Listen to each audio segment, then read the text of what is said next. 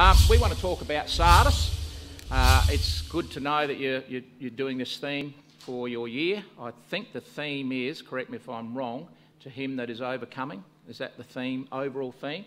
Which, of course, was the prelude to these letters to the ecclesias, and, uh, and naturally enough, it's a great theme to have that we are all seeking to want to overcome. That is for sure. And let me tell you something.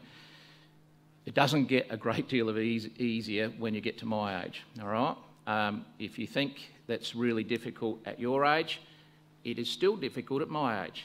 I still find difficult things to overcome in my life, and that's human nature. So please don't ever think that you know the older generation have got it easy and they're just you know plain sailing, smooth run into the kingdom. Not like that at all. In fact, sometimes the older you get, the more distance you feel from God because you realise that human nature is human nature and that we've got a huge gulf between us and God. But God's reaching down to us. He's done so through the Lord Jesus Christ and He wants every one of us to be in the kingdom. So we just need to understand that right from the word go. Well, Sardis, of course, uh, you've done the previous four letters. This is the fifth letter to the ecclesias. We don't know how old the ecclesia was, probably not very old, 40, 50 years old, possibly set up by the Apostle Paul, possibly by the Apostle John, some say other disciples. We don't know too much about the background of Sardis. What we do know is the position of it was in a city called Sardis. And I'm going to say a little bit about that in a moment, but first of all, I'm going to put this slide up. This, uh, I'm putting this up because I'm going to refer to this particular gentleman here at the end of our discussion today. Um, he's titled in the, in, the, in the media of the world as the greatest last place runner in Olympic game history. Now, we've got the Olympic Games coming up next year. It's always an interesting time. I, I dare say we all take a bit of an interest in Olympic Games. The Apostle Paul did, and there's nothing wrong with that because it's just having a look at how people train so rigidly to get into those games and to apply their craft and their art to their particular sport and the disciplines that they apply in their lives to get to that point. And Paul took all those, of course, and he wrote about some of those in, in Scripture. But this man here came last, and he was probably the, the most remembered person of the 1968 Olympic Games, Mexican Olympic Games. Quite an amazing story, and as I said at the end of our presentation, we'll just mention him extremely briefly, but I think it has a lot to do with him that overcomes, to keep on going and don't let something beat you. What do we know about Sardis? Well, uh, Sardis, uh, of course, when we get to this, and you would have read it here uh, as it was read by Ari, um, it's the harshest letter so far. All right, this is a pretty harsh letter. And when you read this letter, you've got to, and we're going to try and put ourselves, we've got to imagine ourselves actually getting this letter. And it was sent to the Sardis, to Sardis Ecclesia, that met in, surprise, surprise, the city of Sardis. And I want to make this point right from the word go. You're probably sitting here going, oh, goodness me, you know, we're dealing with something that's like 2,000 years ago. You know, who cares about an old ecclesia back then and some letter that they received and so what? What does it really mean to me today? Well, let's make one thing very clear. Sardis Ecclesia would have had young people like you sitting in its audience. They would have had young baptised. By the way, who's baptised? Put your hand up if you're actually baptised. I usually do this every time I come. Right up so I can see. All right, maybe better. Put your hand up if you're not baptised. yeah, maybe 50, 60% of you baptised, 40% are not. Interesting. This audience here, 50, 60, 70% baptised, doesn't really matter. The same, not maybe amount of young people, but the same classification of young people would have been in this ecclesia. So don't ever think there's just old people like me sitting in the ecclesia waiting to open a letter, that special letter that was going to arrive. It was, it, it was an ecclesia like all the other ecclesias that had young people. They had kids running around.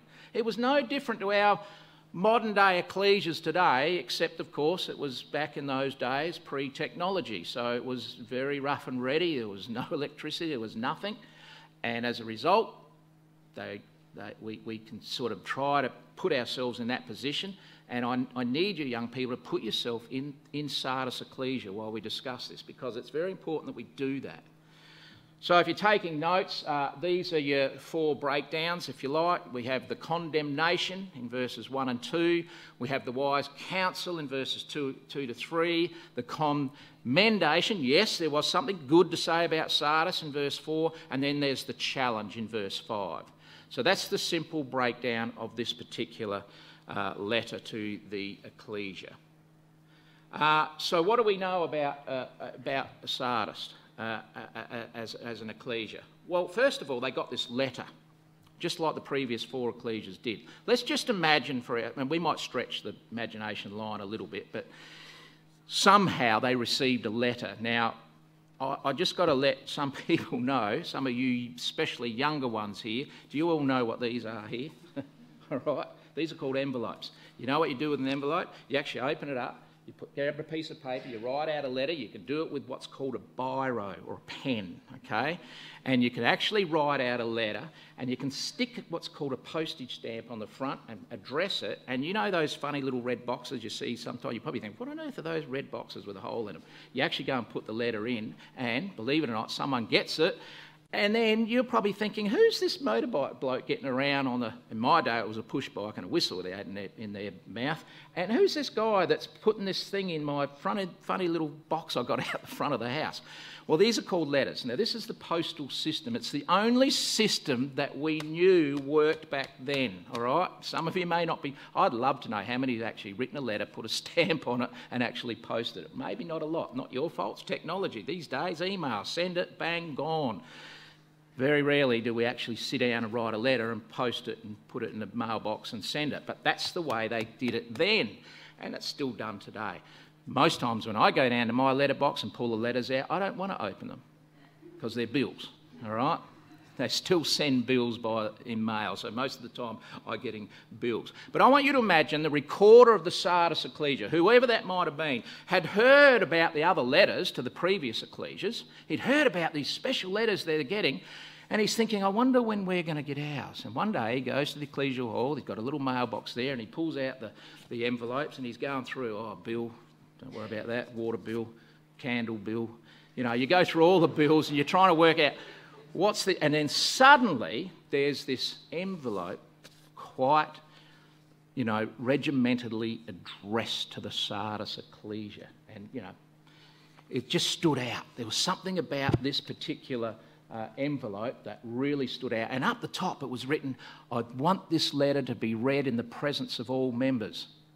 Now, immediately you think, oh, I wonder if this is the letter. So you turn it over, and on the back, by the way, on these letters for those young ones, you put your, your who you are and your return address, all right? So everyone knew who it was. And on the back, oh, this is it. This is the letter. This is from Jesus Christ Himself. And you look at it, and his address is at the right hand of the Father in the heavens of he- heaven of heavens. That, this is a letter from him to us, and it was. We know that. This is from the Lord Jesus Christ to all those ecclesias. Yes, it was, it was you know, inscribed by the, the hand of John on the Isle of Patmos while he was banished, but John just wrote exactly what Jesus wanted him to write. And John was the one that posted these letters, and it came to this ecclesia. And you could imagine the recording brother of that ecclesia getting this letter. And again, if you're like me, some letters I don't like opening. You know, do they still send your exam, uh, exam results through the mail? Blank, they don't do that anymore. They get emails. Okay. In my day, I used to get, you'd go out, you'd be waiting for your exam results, right? And you'd go out and you'd get a letter. Oh, here it is, the education department, the letter. And, and you'd go like this, and you'd, you'd just go as if it's going to change the letter, you know. And you'd just pull a little bit out, just like I could imagine the recorder, just, just enough, enough to pull out that letter. If I can get this up on the screen. So you just see the first part. And you just open it up. Dear brothers and sisters of the Sardis Ecclesia, I know thy works you have a name that you live. Tuck that back down and call everybody in. We've got to get them into the audience. We've got to get the whole lot of the ecclesia. Get all the young people, get the whole lot. Bring them into the hall. So word went out. The whole ecclesia comes into the hall. Sardis ecclesia, packed to the hilt. I've got the letter. You all knew one was coming. You all heard about the previous ecclesias. I've got the letter. You haven't probably seen the rest of it. I'm stretching the imagination, but I just want you to understand a little bit where what could have happened. Whatever happened, we don't know, but we do know the letter was read in front of everybody. And he pulls the letter out Dear brothers and sisters of the Sardis Ecclesia, you know, I know that you are alive, you are known to be living. Then he gets to the next section. But you're dead. Hearts pounding. Not just by the poor recording brother that's reading out the letter to everybody, but everybody in the audience. Their heart is pounding. They are totally aghast. They are totally unprepared for that next comment in the letter. Look, you have a name, you're alive, but you are dead. That's pretty cutting. They're cutting words, young people. They are really cutting words. But that's what it says. You have a name that you live in verse 1, and yet you're dead. Now, the name that you live, that means instantly, he says, I know thy works, means that they're active.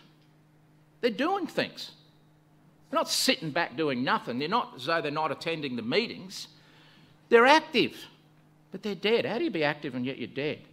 Because their heart and mind was not really in the work of the truth. They might have been attending this and attending that, but their love to God, the love to Jesus, the love that they should have had for the Word of God was not really there. It was just going through the habitual motions, you know, getting up Sunday, going to the memorial meeting, taking the emblems, going home, going to the lecture, going home, going to the study class on Wednesday night, going home, coming to suburban young folks, going home, and yet the brain hadn't engaged properly with God with his son, the Lord Jesus Christ, in an emotional and spiritual way. So they were just going through the motions. They, he, I said, I know your works, you're active, but you're dead. You're dead. I mean, these are very hard hitting words. But what do we know about Sardis? You know, you can go to Sardis today uh, and you can actually stand in probably the ecclesial hall because there's a picture of it. All right, this is the synagogue in Sardis, and it may well be that that synagogue became the ecclesial hall. That whether it was Paul or John or whoever it was that converted the, after the Lord Jesus Christ's ascension and one of Paul's journeys or John's journeys, who knows? They were converted to the, the truth. And it may well have been the synagogue that was used as ecclesial hall. So you can actually go there and try and imagine yourself getting this letter and being in that environment nearly 2,000 years ago. Sardis, uh, as a city, and this is quite important to know because the ecclesia made the same mistakes as Sardis, the, the, the city did. And Sardis was, of course, one of the most amazing uh, major cities on the transport route from Europe down into the Middle East. Uh, and it remained so until it was almost destroyed in 17 AD. They sort of rebuilt it a little bit and got it back, never to its former glory. But the city, re, they, they rested on their laurels. They always thought back to how good they once were. And in the end, the Romans decided to take away that particular um, uh, reputation, if you like, of the city by simply saying, We're not using you anymore as a trade route. So Sardis became a bit of a ghost town. It really wasn't the major route for the Roman Empire. And uh, 28 AD, that actually happened. It was stripped by the Romans of its strategic value and it began to collapse. It, it really did. Now, this is probably 20 odd years, maybe, or not maybe quite that long before there's an ecclesia there, but the decline is already happening. And you can probably safely say this is exactly what the ecclesia did. They rested on their initial reputation.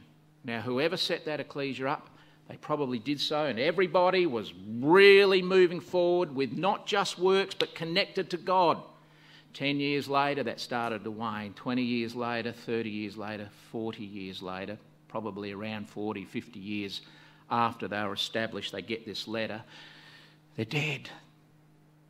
You cannot rest upon what your ecclesia was like once upon a time.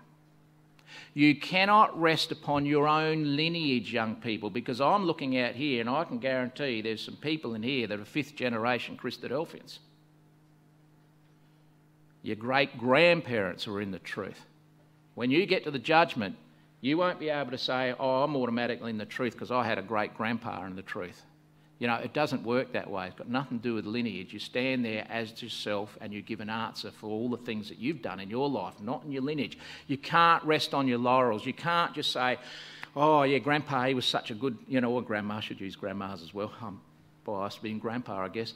Um, you've got to uh, remember that you can't just say, oh, grandma and grandpa, mum and dad, they're great in the truth, great grandpa, you know, they're all great in the truth. And then suddenly you come along the scene and you think, well, I'm automatically, I've got the name, I've got that name, I'm fifth generation, fourth generation, third generation, whatever, bang, I'm going to be in the kingdom. It doesn't work that way, brothers and sisters. And I'm talking now to those that are baptised, but those that are coming up through the ranks, same thing. You are an individual. There's nothing wrong with having good lineage in the truth. In fact, that can be a great blessing. But don't rest on that. You are your own identity. You connect with God and, and Christ in your own proper fashion that God wants you to do so. Now, for those that want to know where Sardis is today, well, it's on the previous map. You might not have recognised that map. As I said, you can go there. Has anyone actually been to Sardis? You've been there? Rarely of mine, of course you have. Was that that last trip when you went over to Israel? Okay, there you go. So if you want any any uh, you know, anything to do with Sardis, come down and see Josh. And we got that right, didn't I? Not Daniel. Yeah. okay. Come down and see Josh because he'll tell you all about it. Quite a, a, a, apparently a very amazing place. I haven't been there. Did you go to Ephesus as well? Yeah, Ephesus, just down to the south of, of Sardis. I don't know if you can see it on the map, probably not on there. But it is an interesting place. These are real places. It actually it, it, it did exist and it did actually um, they did actually get this letter. So let's have a look what the letter went on to say. Verse 2 Be watchful and strengthen the things which remain that are ready to die. Now that's interesting. He's always said you're dead. he's backtrack a little bit because not everything was dead. Overall, if you give a summary of this ecclesia, he says, You're dead in verse 1, but hang on a second you can resurrect that little last flicker of hope and life that is happening in your own personal lives. You can resurrect that and get those embers burning again and flaring up in your life. That's what he's saying here. And how do you do it? Well, you be watchful. You be watchful and you strengthen the things which remain that you're hanging on to, that are ready to die. For I've not found thy works perfect before God. So he says to be watchful. We'll discuss in a second how you can be watchful. Just one thing I'm only going to bring out of that, which I think is important for your age group, means to keep awake, to be vigilant, to be active. Well, we already know they're active. I know thy work, so they're active. So what does it mean to be watchful, to be active? Well, it's not so much active in the in the habitual things that we do in the truth, it's to be active in our connection with God. And the biggest way you can do that is prayer. All right? Just lock that up in this grey matter up here because that's going to make all the difference in your lives. Whether you're baptised, or more importantly, when you're baptised, or whether you're not baptised, equally as important. You can pray, young people, if you're not baptised. Of course, you can pray. Can't pray for the forgiveness of your sins, but you can pray to God for everything else prayer is the single, I believe, anyway, personally speaking, it is the single most important thing that can be lacking in our lives. And if we can get that connection with our Heavenly Father through prayer, we're doing the right thing.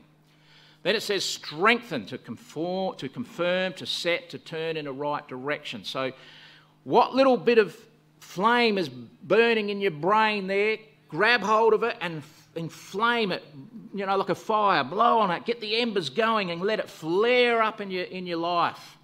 Make a difference in your own life and in life of others. That's what basic lad is saying. The things that remain. Now, it's not relating to abstract matters. It's not remaining, uh, um, talking about doctrine. There's no suggestion here that this ecclesia was doctrinally unsound.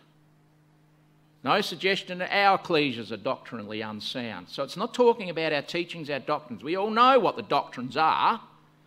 What it's saying basically is strengthening, being careful, watching, and looking after your fellow people next to you, behind you, in front of you who are struggling. And you might be one of those that are struggling. I hope if you're one of those that's struggling, you've got friends that are lending a helping hand. Uh, because that's the point I want to make. And before we do, if you can read that, some of you down the front might be able to see it because it's, oh no, the back, I should say. Uh, wake up. He says, Wake up.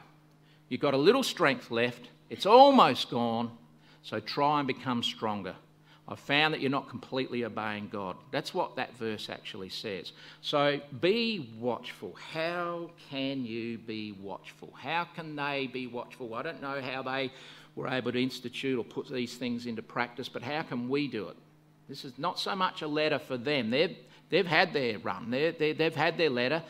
We will find out how they reacted that letter at the judgment seat. How are we going to react to this letter? Because this letter is as equally important to you and me as it was to our brothers and sisters and young people of the Sardis Ecclesia. How? How can we be watchful? Now, I've just picked one thing, and I've already said it. Watching out for each other and always be ready to lend a sympathetic and helping hand. Now, James chapter 1, verse 27 says if you want to be a real, true Christadelphian, because he says pure religion is this, he says you've got to start looking out for others. Seriously. That's as equally important to me as it is to you. You know the criteria in every occasion when you look at references to the judgment seat, the criteria for getting into the kingdom is not how many books you've marked up, it's not how many readings you've done, and I'm not, I'm not denying any of the importance about those things. It's not how many meetings you've attended, and again, all important things. I'm not, not denying the importance of all those things, but it's not going to be based on that. It's not going to be based on, on, on, how many special efforts you attended. It's not going to be based on, on any of those basic activities and actions that can become habitual. It's going to be based on what you have done for the struggler and what I've done for them. We're in the same boat. It's what we have done with those that are really finding it difficult. So, if we want to be into the kingdom of God, brothers and sisters, we don't deny all those other things I've mentioned. They, they are important, but they do not, do not supersede what God really is asking us to do, and that is to look out for other people. In as much as you've done it to me, you've done it, uh, uh, as much as you've done it to others, you've done it to me.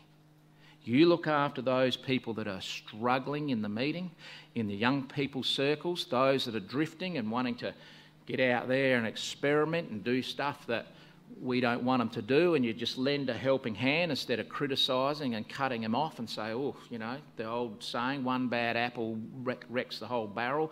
You know, you can't do that, brothers and sisters. You've got to, and young people, you've got to lean out with that hand of friendship and say, hey, let's sit down and have a chat. We don't want you doing that. We, we want you with us.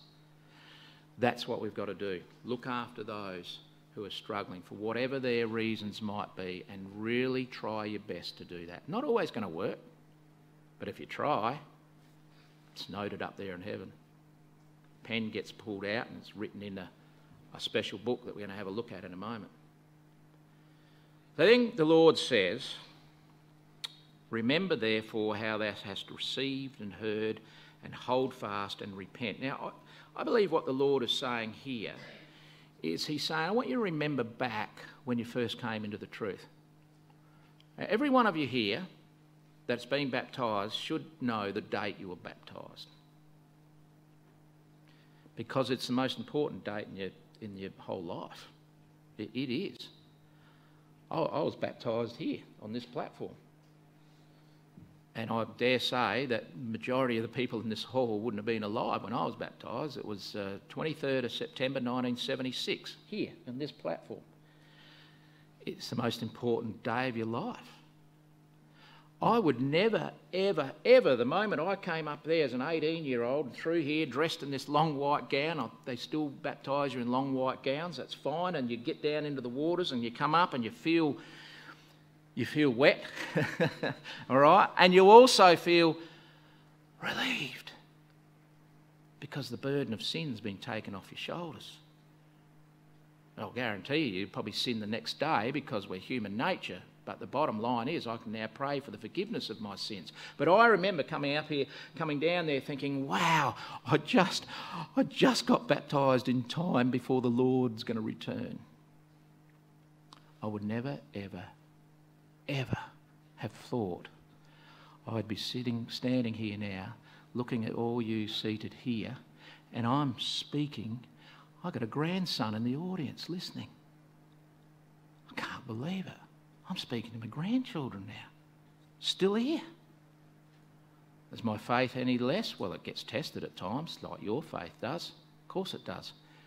But when I see what's going on in this world, and when I know that the Lord Jesus Christ said a day of trouble such as never was is going to happen just prior to my return, and I can see that happening now. I can see everything that's going on in Israel. I can see Russia down in the Middle East. I can see all of these things. I'm going, wow the Lord is so soon to return. And that's what, that's what the Lord is saying here. I want you to remember back when you first got baptized, when, when you, it was such a momentous occasion. And, and I want you to remember that when you received it and you heard it and you acted on it. I want you to hold fast and I want you to change your ways again, just like you did back then. So, all those that are baptized, just remember that day. Some of you probably wasn't long ago at all. Some of you here are, are, are maybe going through for baptism. Look forward to the day, embrace it. It's going to be the greatest day of your life, 100%. And then the Lord says, Listen, I want you to also understand this that I'm going to come on thee as a thief, and thou shalt not know what hour I will come on thee. Now, we know those words because the, the, the, Lord spoke about that when he was on the earth um, 50 years before this was written all right, 50 odd years before this was written. He said, uh, you know, the Son of Man will come when hour you don't know, like a thief in the night. He's going to come. So we understand what that meant. They would have understood what that meant. A thief doesn't, um, a thief doesn't uh, actually uh, tell you when he's going to arrive. He doesn't knock on your door and say, tomorrow night I'm heading your way to rob your house. Doesn't do that. We don't know when the thief's going to arrive. But it shouldn't take us as a thief and a knife. We, we should be prepared. We should be looking out the window all the time and expecting the Lord to come to the door. We, we should be. We're not, but we should be. So what the Lord is saying here is, hey, hey, listen up. If you're if you're watching properly, the previous verses, if you really are watching properly and you're doing the wrong right thing, you, you won't get caught out. It's not going to be like a thief coming to you. And that's what he's saying to the Sardis ecclesia.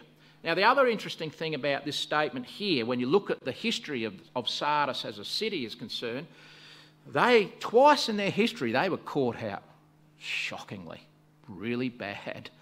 And they, their whole city was invaded because twice they fell asleep at the wheel. All right, they thought they had an impregnable city. It was no way anybody was ever going to get inside that city no matter what army there was. Didn't matter if it was the Persians, the Greeks, the Romans, there was no way they were ever going to get in that city. And so they rested on their laurels. They just laid back, feet up, we're safe. Now, rather than me tell you, and I don't know, hopefully this will work, rather than me tell you about the, um, this, this, what happened to Sardis on two occasions, I'll let some expert tell you about it up on the screen. When Jesus said, I will come like a thief in the night, and you will not know the hour I come against you. Well, that's kind of a head scratcher for us. Like, what does he mean by that? Well, I have to tell you, for the people in Sardis, it was not a head scratcher. They knew exactly what he meant. They'd all read their history books about King Croesus, the, the wealthiest king in the world who ruled this region. And King Croesus, to protect his wealth and keep himself safe, built this massive city fortification just beyond that knob back there and built it in a way that was impregnable. No army could take it. And sure enough, he was right. When Cyrus came through, Cyrus couldn't take the city, so he put the city in siege and camped his soldiers around it. Well, one night, one of Cyrus's soldiers noticed a soldier on the wall, looking over the wall, and his helmet dropped to the ground. Well, he went down these little set of stairs, opened a secret door, went out, got his helmet, closed the door, and went back in. Ah, now Cyrus had the key, sent his armies to the other side of the city, raised a fuss. All of Croesus's army went to that side of the city, and Cyrus's special forces went through the little secret door and took the city. Just when King Croesus thought he was safe, he was not. That not only happened once, it happened twice. When the Persians invaded after they had rebuilt this impregnable fortification. As the Persians sieged the city, they noticed vultures camping around the edge of the wall, uh, but they never flew away. And then they noticed soldiers throwing bodies, dead bodies, people who had died over the wall for the vultures to eat. And they noticed that that part of the wall was unprotected. So the Persians took that gate and went in and took the city. Just when they thought they were safe. They were not. And Jesus reaches back into their history to remind them that you think you are alive, but you are dead, in an hour you know not, I will come against you. Bit of history for you. I found that interesting. So, twice it happened to the city of Sardis. The brothers and sisters of that ecclesia and the young people would have known their history. And here's the Lord just bringing it up again. He says, Hey, Basically, you know your history. Don't get caught out. Don't get caught out again. Not that he was necessarily referring to another invading army, he was referring to the fact that your next waking moment when you die is at the judgment seat. You want to be there prepared. You want to be there having strengthened the things that remain. You don't want to get there as a dead corpse, all right? Not that they, they're going to be dead and they're going to be raised in a mortal state and, and, and be at the judgment seat, but we don't want them there uh, with that statement hanging around their neck that you were once alive, but now you're dead. They, want to, they, they, they really would want to have taken this letter to heart, and I like to think they did, and I like to think this ecclesia actually became a glowing ember, a glowing fire, a raging fire for the truth for however long it might have lasted. We don't know. We'll have to see. Well, then he goes on to tell us this in verse, uh, verse 4. Thou hast a few names, even in Sardis, which have not defiled their garments. Hmm. He's referring back to that day when they were given a garment. Now, all you are baptized, you know the spiritual lesson, you're all given a garment. Um, the garment, of course, is the Lord Jesus Christ, it's a covering. And it's no better way to imagine that than to imagine the covering that you usually are given in your own ecclesia. I don't know, maybe your ecclesia is different, but it's usually a white gown. And, and try and imagine it that you've got that spiritual white gown on, because that's what you're going to, that's what you're given at your baptism, a spiritual covering. It's the Lord Jesus Christ. You know, we know these quotes in Galatians 3, Romans 1, Ephesians 4. It talks about the covering that we obtain through baptism. And it's our responsibility, it's our duty, and it should be our pleasure to try and keep that covering in good order.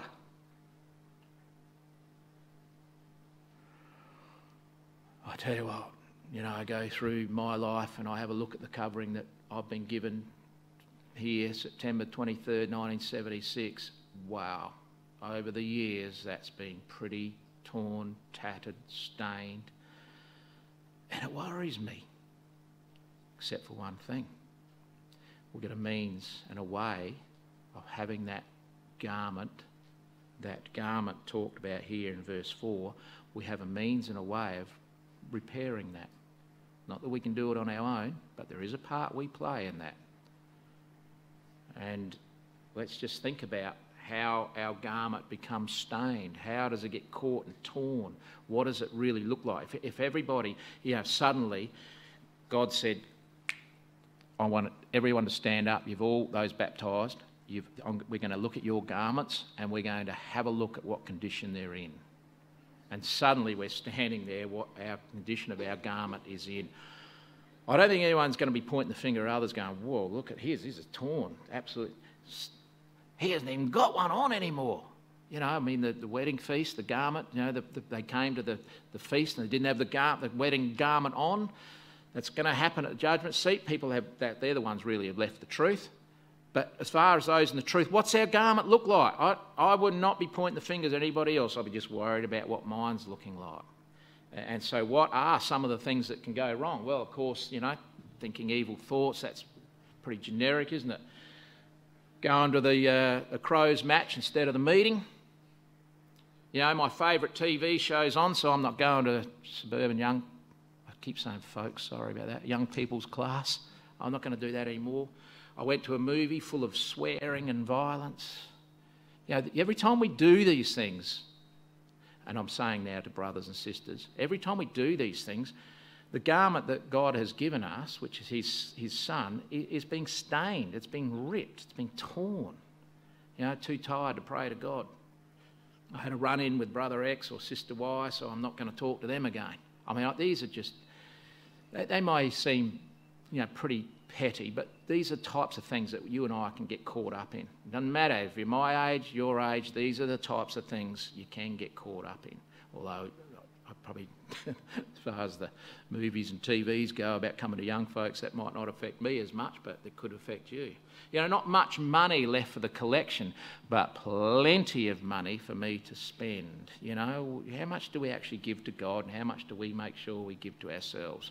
These are all just little things that you might not realise is what we can do to defile our garments. And here is a little commendation by the Lord Jesus Christ and saying, you know what? There's some in Sardis that haven't defiled their garments. Of course, they def- everyone defiles their garments. They're not perfect, but what he's saying is they're fixing it, they're getting it right. They're trying to do the right thing. And so when I, I, I can see that they're trying to do the right thing, I'm prepared to overlook their failings, and I'm prepared to, to wash that garment clean again, to start afresh, to mend it, to sew it up when it's been ripped. How do we do that? How can we get our garments properly cleaned on a regular basis? Well, that's simple, and this is not hard to do. Consistent, meaningful prayer in asking for genuine forgiveness for the sins that we can openly confess to God will keep our garment in a state of repair and cleanliness. Now, that is a known fact of Scripture. And if you young people, and I'm talking for all of you, but particularly those that are baptised, that have all got a garment on, if you are not engaged in regular prayer to God and in sincere emotional prayer to ask Him for the forgiveness of our everyday sins and name those sins. Tell Him what you've done wrong. He knows what you've done wrong. He knows what I've done wrong. But name, it. He wants to hear us confess our faults. And if we do that, those patches on our garments that are stained suddenly become white again. He's forgiving us. That's what He wants us to do. And that's what the Lord had told those at Sardis Ecclesia. You know, you've got a few people in your ecclesia are good examples. I want all of you to do this. Get, get those defiled garments clean again. And then he says, verse 5 He that overcometh, the same shall be clothed in white raiment. And this is the section I really want to talk about. I will not blot his name out of the book of life but I will confess his name before my Father and before his angels. I will not block his name out of the book of life. Now, did you know there's actually two books in heaven? I actually like to think these are real books. Seriously. Yeah, call me crazy if you want. That's fine. I actually think they're real books. There's, there's, there's quite a few references about the books that are up in heaven. Now, God doesn't need a book to remember anything, neither do the angels, neither does the Lord Jesus Christ. They don't need books.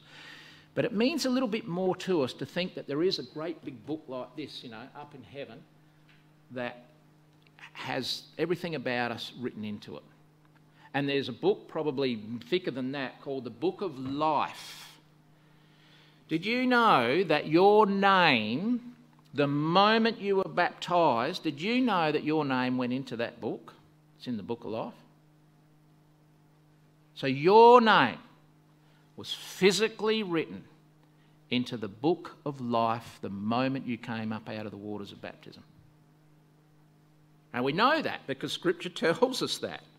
Because we don't want it blotted out of the book of life. That's what it's telling us there. In fact, there's other references to about this book of life. Let's just have a little look at it. Revelation 20, verse 12. I put it on the screen there. It says this And I saw the dead and great and small. This is talking about reference at the judgment seat, taking their places before the high seat. And now here's two lots of books being mentioned here. There's one in the plural, and the books were open, and another book was open, which is the book of life. And the dead were judged by the things which were in the books, even by their works. So there's two books. Now, when we get to the judgment seat, these books are going to be laid out on the table. Think about this. Now, really think about this. When you were baptized, you know your name was written in that one of those books called the Book of Life. The other one are called the book or books of remembrance. All right? That's a quote out of Scripture. They're known as the books of remembrance. There's a lot of the quotes that support what I'm telling you. The books of remembrance. Now, in those books are all our deeds, our good deeds and our bad deeds. Everything that we've ever done in our life after our baptism are recorded in the book of remembrance or the books of remembrance. There's probably quite a few of those. You know, there might be a whole shelf full of them of all the saints of old and Mike Steele, S, S, here we go, S, open up. Oh, wow, there's quite a bit of stuff on him. I just hope it's not all bad stuff, but you just imagine you open it up to that page, Mike Steele. Hmm, okay, let's go through some of this stuff. Now, here's the thing, and this is get please understand this. We've got to understand the principle about what God is trying to, or Jesus is trying to tell us here in this particular verse. The book of remembrance this is the first book we must deal with, all right? Both our sins and our good deeds are written in that book. It's in that book, it's upon that book that we get as the basis for our judgment. All right, so there's a book there. Our personal angel may be filling in that book daily, weekly, monthly. They don't, I don't know, but all we know is they know everything perfectly about us. They're perfect themselves. They will have perfect entries in that book, things we can't argue against. In that book, good things and bad things are in that book. When you come to God through prayer and you say to God, please, please forgive me for what I've done wrong. Please. And list the things you've done wrong. What's going to happen is your angel God will give a directive, the Lord Jesus Christ will give a directive, and they'll blot those things out of the book of remembrance. And at the same time, the garment that you've got is being cleaned. And so suddenly, there's a weight lifted off your shoulders because you feel, oh, I can start afresh again. Next day is a new day. We do something wrong, we come to God again. It's an ongoing process. And as you go through life and the truth, does it get any easier? I wish I could say yes, but it doesn't. But what we've got to do is get into that frame of mind of continuing to pray to God. Because when those books of remembrance are opened, I hope, I hope when mine's open and Mike's Steele and I look at it, I really hope there's a heck of a lot of blank spaces in there. And the parts that aren't, aren't blanked out are good things that I might have done in my life. Very few, but some good things hopefully are in there. That's what I really trust and pray that will happen in my life. Of course, once that has happened and we've been judged by the book of remembrance, then the book of life is opened up. Let's go to your name and see if it's still in there. I trust and pray from that comment in verse 4 of Revelation 3 that there will be brothers and sisters of the Sardis Ecclesia that will still have their name in the book of life when they get to the judgment seat. And I trust and pray that by us considering this here this afternoon, that you and I will have our names still in that book of life. And that the book of remembrance will be there as well, and there'll be some plenty of things that will happen uh, that will be brought up out of the book of remembrance that we will have to deal with at the judgment seat. Make no mistake about that. But nonetheless, we've got this little cameo, if you like, of how it's all going to go down and what is going to happen when we get to the judgment seat. Now, I've glossed over quite a few things here. We could have gone into, you know, about the, the wearing of the white and, and you know, they, those that are worthy and so on, but our time is, is really left us, and I don't want to go over time, but I do want to leave you with the story of this man here, all right? Because you know, we, we, I think we've pretty well got the, the, the, story of Sardis down pat. We, as I said, we didn't go into it really deep, but the, the overriding theme of all the letters to the ecclesias is to him that overcomes. To him that overcomes. Now, let me tell you about this man. Uh, Stephen Akhwari, uh, I think was, his first name was John actually, but doesn't matter. He was known in the press as Stephen Akhwari. He came from Tanzania, all right? He was a runner a long distance runner. Some of you probably heard this story, and that's great. I love it every time. Every time I see it, I just love this story because it's, it just is inspiring. You know, it is amazing how some people in the world can actually inspire. And this man here, what he did was quite inspiring. Uh, he was an absolute in the, in the top 10 to win a, a medal at the um, 1968 uh, Olympic Games in the long distance 42k marathon and, and they always are. Those African countries produce the best runners ever. That always seems to come from those African countries. I don't know, maybe they're used to running away from lions or whatever, but whatever it is, they are fast, not just fast, but just, uh, you know, they can go and go and go, and they just keep running. They produce great runners. So they're lined up at the starting line, the gun goes off, and away they go. And at the 19 kilometre mark, this particular chap here fell over, and he really fell badly, and he gashed his knee completely open. Um, test revealed later he actually dislo- dislocated his knee. I've never had a dislocated knee. I don't know what that's like, but it sounds painful to me. Uh, he was in pl- pain. He was bleeding. He, he'd stopped. He, he really lost his front running in, the, in this race and uh, he started to hobble for the last 23 Ks. Some people in the audience gave him bandages. He wrapped up his leg. Blood was oozing through his wound, but he kept on running. Now, he arrived at the uh, main arena an hour after the first place winner. He's last, totally and absolutely last. And he comes into that arena, and a lot of the people had already left, and suddenly those that were leaving looked around and they see this man here limping into the arena. He's hobbling.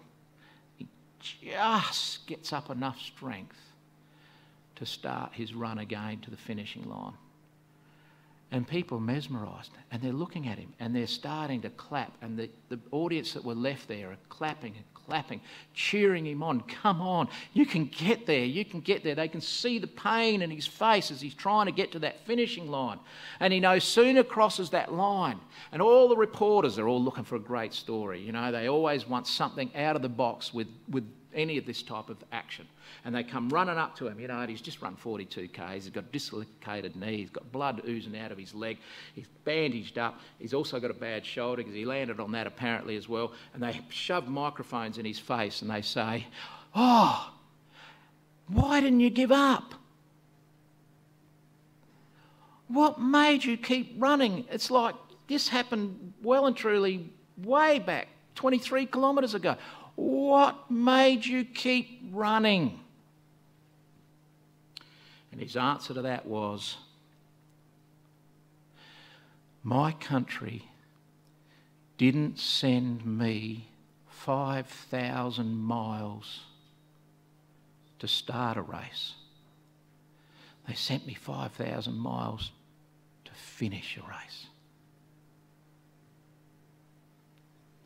And those words echoed in the press papers all throughout the world with his picture. No one even knew who came first. He was the one that copped all the press. My country didn't send me here to start a race, they sent me here to finish one. God doesn't choose you, young people. He doesn't choose me to start a race. He chooses us to finish it. He wants us to finish our race. He wants us to overcome. I'm going to leave you with a minute and a half of Stephen, John Stephen Akhwari's little race as he heads into the, uh, into the amphitheatre, uh, into the arena, and uh, I hope it, uh, it does help us to uh, appreciate what that whole idea of overcoming. Thank you very much.